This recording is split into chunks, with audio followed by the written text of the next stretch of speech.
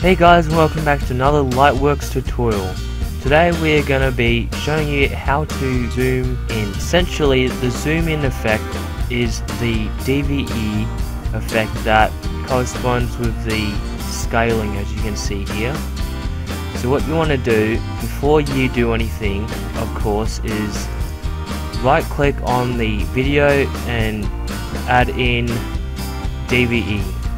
So you do that once you have inserted the DVE so what you're going to do now is as you can see under the scale heading there are three options master X and Y. So for example if we want to zoom in on some text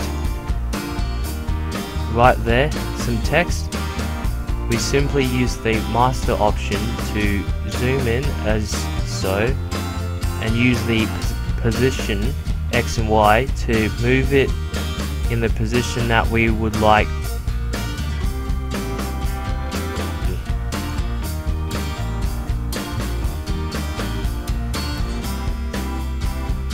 As you can see it's a really simple tool. Just use the master the X and Y. The X and Y just simply moves along the X. It makes the video wider. And that's all for today. I hope you do enjoy. Please share, like, and subscribe. Thank you very much.